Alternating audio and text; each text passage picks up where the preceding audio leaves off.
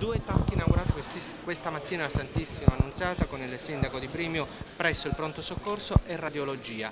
Ieri quel riconoscimento dalla, dal governo, se vogliamo, dimezzata la spesa sanitaria rispetto al 2007, ridotta la lista d'attesa. Una sanità che funziona? Funziona, funziona meglio di quello che era il passato. La sanità non tanto, non, non parlo, non, non, mi riferisco tanto alla lista d'attesa che non è così, la lista, io il 50%, l'ANSA ha riportato una notizia sbagliata, io dicevo il 50% è la spesa regionale che è inferiore, cioè noi spendiamo la spesa pubblica, abbiamo ridotto la spesa pubblica del 50% rispetto a quello che l'Abruzzo spendeva a partire dal 2007. Per quanto riguarda la sanità io dico questo, noi stiamo dimostrando eh, che il sistema sanitario pubblico di stampo universalistico e sostenibile, cioè non è destinato inevitabilmente al default. Eh, può essere sostenuto, si può fare buona sanità con i conti in ordine e questo ce lo dimostrano d'altra parte le regioni delle Marche in su. Se fosse vero che chi spende di più eh, ha una migliore sanità, le migliori sanità dovrebbero trovarsi in Calabria, in Sicilia, in Campania, in Molise, in eh, Puglia, nel Lazio, invece come vedete si trovano in altre regioni dove sono stati molto attenti ai conti sanitari.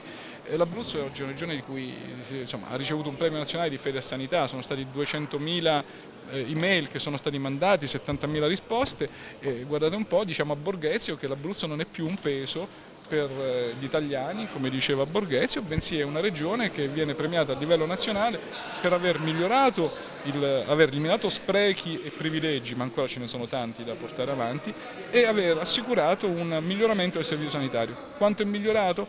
Eh, la regione italiana sarà, l'Abruzzo sarà la nona regione italiana nel 2013 ad assicurare i livelli essenziali di assistenza. Oggi ne sono solo otto, faccio questo pronostico e che è una sorta di promessa, come quando dissi che avremmo ridotto le tasse e oggi le stiamo riducendo, che l'Abruzzo sarà la nona regione italiana ad assicurare i livelli essenziali di assistenza. Questo vuol dire che prima non lo faceva e l'abbiamo fatto con l'equilibrio sanitario. Io penso che la strada sia quella buona, questo ci permette di investire in macchinari, ci permette di investire in professionalità eh, I benefici si vedranno nel medio termine, perché? Perché i transatlantici girano col tempo, non è che sono un motoscafo che girano velocemente tagli nel trasporto pubblico, bisognava fare la benedetta fusione in questa regione tra le tre principali società e invece oggi eh, l'assemblea dei soci di ARPA è chiamata ad eleggere il quinto componente del CDA. Cos'è che non ha funzionato e non funziona? Che non è giusta questa correlazione, è assolutamente strumentale non da parte sua ovviamente, ma da parte di quelli che lo dicono, non c'entra niente. La fusione è un percorso che ho sempre detto si fa se conveniente per gli abruzzesi, per le casse degli abruzzesi, non se è conveniente per gli abitanti del palazzo, sia chiaro. Questo lo deciderà il Consiglio regionale dopo aver visto che dalla fusione per esempio ci saranno un certo numero di esuberi. E questi esuberi dovranno essere presi in considerazione, non è che poi si possono pensare che gli esuberi si rende una cosa per, renderla più funzionale ed efficiente, poi gli esuberi magari vengono scaricati sulla regione, stiamo sempre lì al punto di partenza, quindi questo eh, non c'entra niente.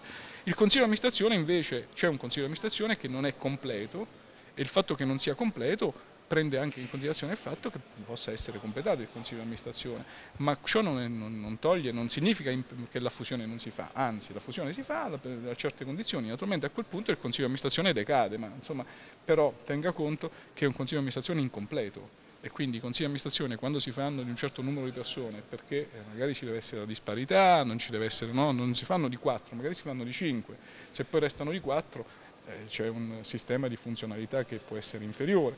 Quindi detto questo non c'è nessuna correlazione, chi la mette in campo o lo fa in maniera strumentale o lo fa perché vorrebbe nominare un altro. Sta ancora cercando casa a Roma?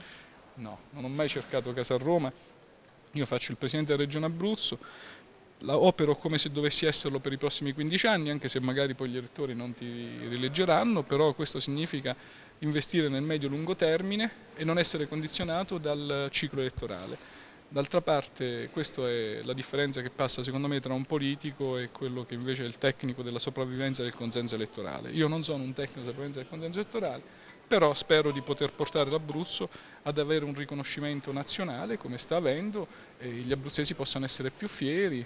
Il risanamento non è solamente finanziario, il risanamento è anche etico e morale. Oggi l'Abruzzo non è considerato con una classe dirigente che fa delle questioni dell'illegalità magari una consuetudine o che addirittura usa la spesa pubblica per alimentare eh, le proprie clientele.